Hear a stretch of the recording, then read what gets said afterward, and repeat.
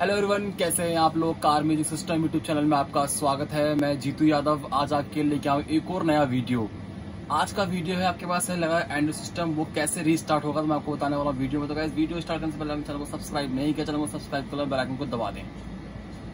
Guys ये है आपका नया इंच डिस्प्ले अगर आपके पास है टी फाइव एंड्रॉइड स्टूडियो तो ये कैसे रिस्टार्ट होगा मैं आपको इस वीडियो में बताने वाला हूँ। तो नॉर्मली आपको कुछ नहीं करना है, आपको सबसे पहले जाना है कार सेटिंग में। कार सेटिंग के बाद आपको टच करना है फैक्ट्री पे।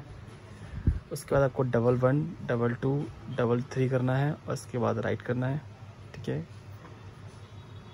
नीचे आपका लिखा हुआ है इरेस ऑल डाटा इस पर टच करना है। और ओके कर देना आपका। इस तरीके से आपका सेट जो है रीस्टार्ट हो जाएगा, फैक्ट्री रीस्टार्ट जब आप इसे इरेज करेंगे तो कुछ इस तरीके से होगा आपका ये डिस्प्ले आपकी छोटी मोटी प्रॉब्लम्स हैं वो ऑटोमेटिक सॉल्व हो जाएँगी।